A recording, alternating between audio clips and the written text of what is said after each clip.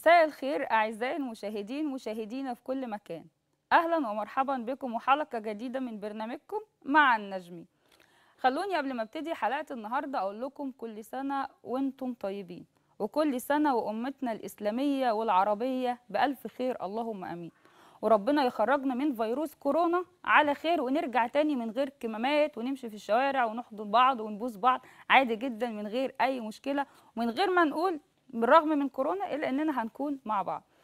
خلوني بقى قبل ما أبتدي حلقة النهاردة أتقدم بخالص العزاء لأهالي الصعيد وبالأخص عائلة النجمي عائلة النجمي في الفترة الأخيرة حصل فيه كام حالة وفاة ورا بعض متتالية.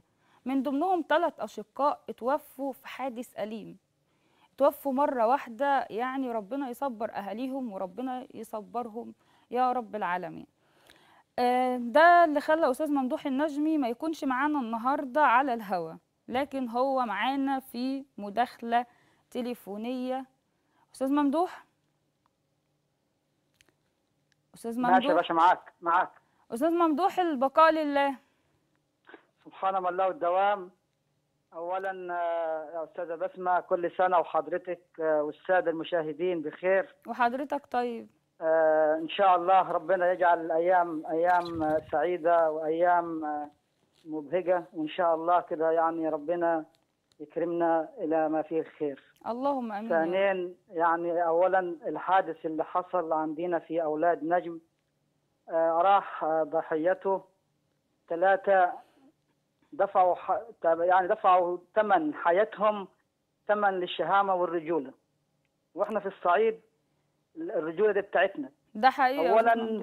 آه، الحج عبد الرشيد شعبان وشهرته الحج رشيد الله يرحمه ده الله أخ يرحمه. فاضل معاي رحمة الله عليه. وكمان كان آه، الأستاذ الهواري نظير الله يرحمه. الله يرحمه. وابنه زهرة شباب أولاد نجم طفل 16 سنة اسمه عمار. عمار الهواري نظير. ربنا اختلافهم يرحمه يا الغدر. ممدوح.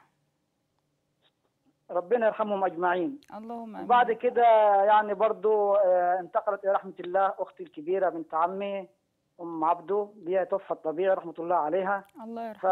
فنحن نشكر الجميع اللي يتواصل معنا وشكر الله سعيكم جميعا. ربنا يخليك يا أستاذ ممدوح ويا رب تكون آخر الأحزان ونشوف حضرتك في أقرب وقت معانا في الاستوديو. يا رب إن شاء الله. إن شاء الله. أتمنى و... لكم لقاء موفق سعيد بإذن الله. إن شاء الله. وبرضه أشكر زميلنا في الاستديو حضرتك ربنا يخليك. وأولادي إسلام وأحمد. ربنا شباب زي يخليك الورد ربنا يكرمهم. والأستاذ عمارة ولد عمارة مخرج الهوى. والأستاذ خلف برضه الله يمسيه بالخير يشكر جزيلا. والأستاذ ولي رئيس القناة. والأستاذ جمال عبد العظيم. وجميع زمايلنا في الاستديو وإحنا بنشكر حضرتك يا أستاذ ممدوح ونتمنى إن حضرتك تكون موجود معانا في الحلقات الجاية إن شاء الله. إن شاء الله ونورت مع الله. النجم شكرا يا أستاذة بسمة وتحياتي لحضرتك والسادة المشاهدين وأتمنى لكم لقاء موفق بإذن الله تعالى. كل الشكر لحضرتك يا أستاذ ممدوح. شكرا شكرا. آه، خالص العزاء مرة تانية لأهالي الصعيد وللأستاذ ممدوح النجمي زميلي العزيز. الفترة اللي فاتت كل اللي كان شاغل بال الشارع المصري هو موضوع واحد بس موضوع سد النهضة. يا ترى مصر هتحارب ولا يا ترى مصر مش هتحارب؟ يا ترى مصر ال- السد هيتملي المرة التانية من أثيوبيا ولا مش هيتملي من أثيوبيا؟ أسئلة كتيرة جدا كانت بتدور في دماغ الشارع المصري كله. مفيش بيت ما بيتكلمش عن موضوع سد النهضة. مفيش بيت ما بيقولش إحنا خلاص المية بالنسبة لنا احتمال تخلص وممكن ما نلاقيش مية تاني. إحنا ممكن نشيل المية دي لسنين تانية قدام. لو ينفع إن إحنا نخزنها هنخزن. النيل بالنسبة للمصريين شريان الحياة. النيل بالنسبة للمصريين هو المية والهواء والمعيشة. إحنا من غير مية مش هنكون موجودين على الحياة أصلا.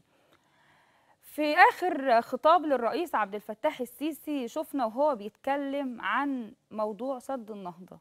وتقريبا هو وصل رسالة واضحة وصريحة لأثيوبيا. كتير فسرها بأن موضوع أن الرئيس يطلع ويتكلم يعني مصر داخلة على حرب.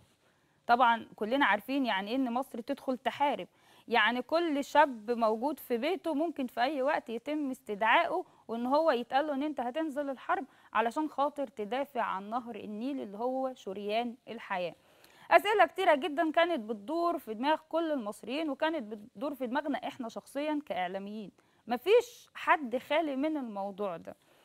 خلونا الأول قبل ما يكون معانا في مداخلة هاتفية سيادة اللواء والخبير العسكري والاستراتيجي عبد الرافع درويش ورئيس حزب فرسان مصر نطلع نشوف الرئيس السيسي قال إيه عن مياه نهر النيل وعن سد النهضة؟ وزي ما هو ما قال وكلنا بنقول إن مية النيل خط أحمر. خلينا نطلع نشوف الرئيس قال إيه ونرجع لكم من جديد مع سيادة اللواء عبد الرافع درويش.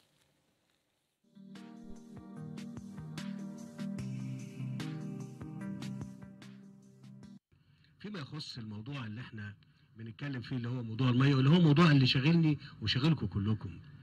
أنا بس عايز أقول إن موضوع التفاوض ده يعني ده خيارنا اللي إحنا آه آه بدأنا بيه.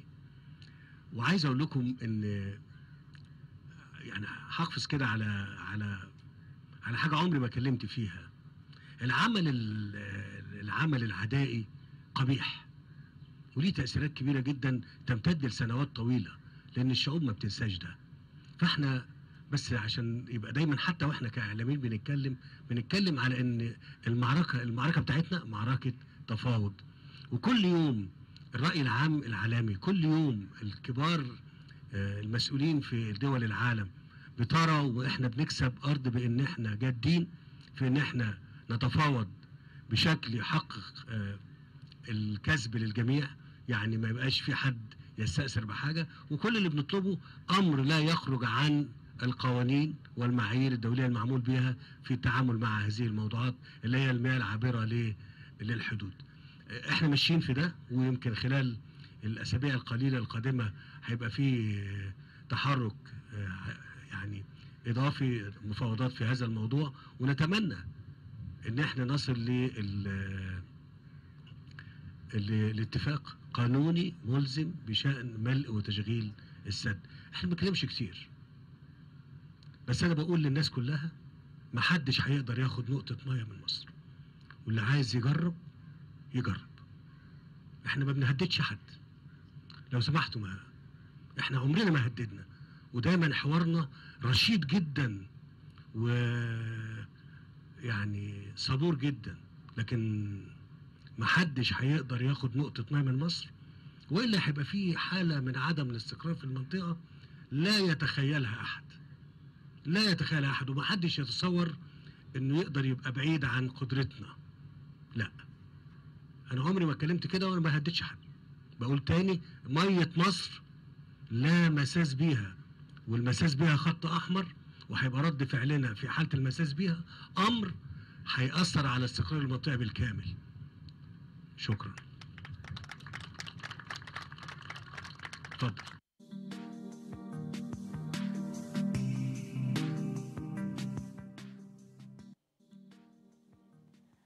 ورجعنا لكم من جديد بعد ما شفنا الرئيس عبد الفتاح السيسي قال إيه؟ خليني آخد من مقتطفات من كلام الرئيس وهو بيقول مية مصر خط أحمر وأي حد هيمس مصر يبقى هو الجاني على نفسه زي ما قال في الفيديو. خلينا بقى نرحب بضيفي وضيفكم في مداخلة هاتفية سيادة اللواء عبد الرافع درويش الخبير العسكري والإستراتيجي ورئيس حزب فرسان مصر. سيادة اللواء أهلا يا فندم. أهلا بحضرتك ونورتنا في برنامج مع النجمي نورك يا فندم. ربنا يخليك.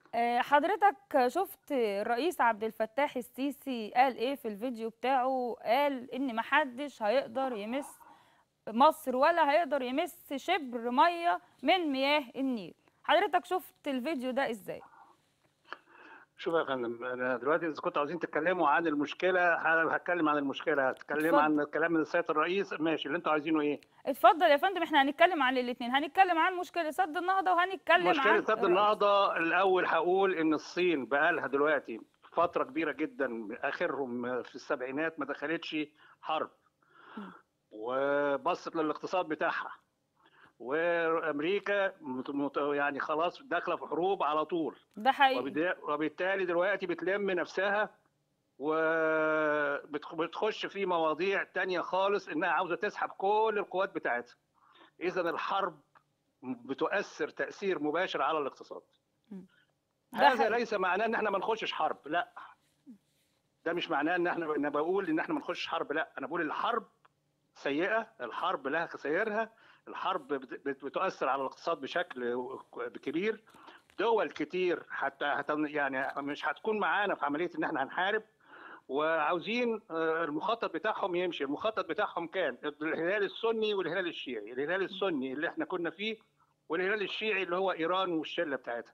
كانوا. عاوزين يسلموا كل الهلال السني لتركيا مع إسرائيل والدنيا تمشي زي الفل ويبقى عندهم ضمان لامان لأمن إسرائيل 100 سنة. كل الكلام ده اتلخبط بواسطة الجيش المصري لما ال- فاق وعمل كل اللي عمله دلوقتي واتطور وحط أسلحة كتيرة وجديدة.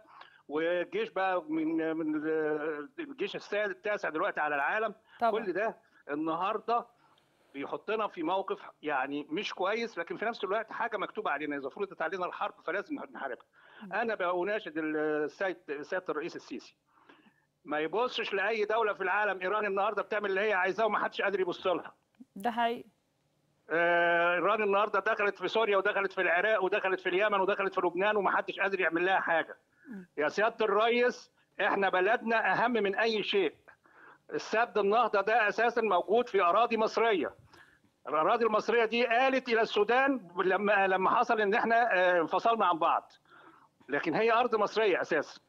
طيب. في شنقول بني شنقول دي بقى ارض مصريه إحنا يا سيادة الرئيس نخش حرب ونخش بني شنقول ونحتلها ونحتل السد ويبقى السد ده بتاعنا إحنا. إحنا اللي نتحكم فيه نهده ونبنيه نعمل اللي إحنا عايزين نعمله. لكن في نفس الوقت ما نسيبش امورنا على غيرنا. وإحنا مش هنموت من العطش. إحنا هنموت على السد لكن مش هنموت في أرضنا على العطش. يعني حضرتك شايف إن مصر عمرها ما هتعطش ولا مية النيل استحالة إن هي استحالة. مم. يعني استحالة. أنا عارفه ان إحنا حضرتك إحنا عندنا إحنا عندنا مش متاثرين قوي باللي بيحصل دلوقتي في السد اللي متاثر جدا السودان. لكن إحنا في نفس الوقت لو اتملى الملء الثاني هيبقى قنبلة نووية. القنبلة النووية دي هتضرب فينا كلنا وهتغرق مصر وتغرق السودان. مش هنستنى لده. إحنا حضرتك لازم نعمل الضربة الاستباقية وفورا يا سيادة الريس أنا بأرجوك وأبوس إيدك. يا سيادة الريس خد قرارك بالحرب فورا. ما تستناش أي دولة من دول العالم. حضرتك شايف إن التفاوض مش هيجيب نتيجة مع إثيوبيا يا يا سياده اللواء فندم ده دي دي حرب ده حرب يعني حرب حضارات. إثيوبيا طول عمرها هم واخدينها دلوقتي علشان يه- يهدوا الجيش المصري. ده من تنظيم أمريكا وإسرائيل لضمان أمن إسرائيل 100 سنة وهم اللي بيزقوا إثيوبيا لهذه الحرب عشان إحنا نخسر فيها. نخسر ما نخسرش مش مشكلة لكن إحنا النهارده ما نتضربش في قوتنا وميتنا. استحالة. كل تأخير ممكن يتسبب إن السد يتم ملء الفترة الثانية بتاعته. يعني ضرر إحنا كل يوم بيمر أنا بقول لك يا سياده الريس كل يوم بيمر ده ضرر علينا إحنا. إحنا لازم ناخد قرارنا وبسرعه ولازم نضرب السد ونخلص عليهم بسرعة ون- ونضرب له جميع السدود اللي عملها على نهر النيل. ما نستناش. طيب. وأنا عارف إن القوات الجوية وأنا من القوات الجوية ذراعها طويل وتقدر تعمل الكلام ده. طب إحنا ممكن إمتى يكون في حل يعني هل في حل بديل غير الحرب في لا مو- حل مع هذه الدولة المارقة لأن دول مجموعة ميليشيات زي ما حضرتك عارفة الأورومو وال, وال...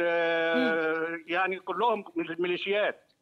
يعني الأورومو النهاردة تجراي اتضربت بال... بال... بالأمهرة. واخد بال حضرتك؟ مم. والأورومو ممكن يمكن معانا شوية. إنما الأساس دي. ما هوش ما هوش ما هوش مش دولة. ده أي ميليشيا من دول ممكن تقوم حرب ضدنا وهم ما يفهموش الكلام ده. طيب. لأن دول تجار حروب. آه، ومن مصلحتهم الكلام ده كله. لا إحنا مش هنحارب ميليشيات. إحنا هنحارب دولة. إذا كانت هناك دولة بس هناك ما فيش دولة. مم. فإحنا لازم نبص بنفسنا. نحارب ولا ما نحاربش؟ لا نحارب. لأن دول ميليشيات وما لهمش كلمة ولا عهد. ودول كل اللي بيحصل ده من أمريكا ومن إسرائيل زقين إثيوبيا علينا علشان نخسر في الحرب ونخسر من قواتنا والجيش بتاعنا ما يبقاش في في الموجود بالطريقة اللي هي صح. ما إحنا يا سياده اللواء عارفين إن اللي بيمد الجيش الوحيد اللي من اللي نجا من الموت. الجيش الوحيد في المنطقة كلها اللي نجا من الموت بتاع إسرائيل وبتاع أمريكا. والمخطط بتاعهم بين الشيعة وبين السنة ويسلموا لتركيا وتركيا تسلم لإسرائيل وهناك الناحية الثانية إيران مع الشيعة مع الشيعة. طيب آه، سيادة اللواء حضرتك كنت شا... يعني أنا عارفة إن حضرتك رجل عسكري وعارفة إن حضرتك من قدماء ال- اللي دخلوا حروب أنا حاربت وعارفة أربع حروب يا فندم آه آه، أنا أنا عارفة أنا عارفة اليمن كل ده. و67 والاستنزاف و73 آه احكي لنا كده يعني حرب 73 اللي الكل بيتكلم عنها واللي الكل بيحكي بيحكي عنها والله إذا كنتوا عاوزين تعرفوا ال- ال- يعني دي عبارة عن منظومة اتعملت حاجة كبيرة جدا بكل المقاييس إعجاز. إحنا حاربنا في في حرب 73 كان علينا عند عند الأرض بتاعتنا على الأرض بتاعتنا جبنا أيوة.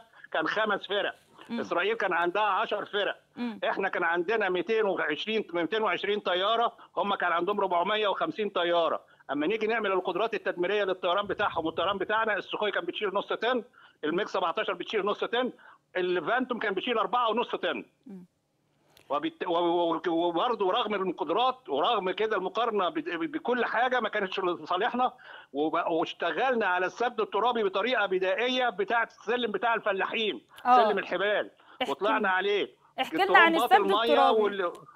طرمبات المية بالنسبة للسد الترابي اللي هو قالوا عليه أقوى من سيكفريد وأقوى من ماجينو ولا يمكن ضربه إلا بقنابل ذرية اتداس وبقى زي البسكويتة تحت رجلينا واحتلينا خط بارليف في, أقل من ست ساعات. فالكلام ده كله إحنا المصري معجزة لوحده. ده المصري لما يكون عنده إرادة خلاص بيعمل كل حاجة.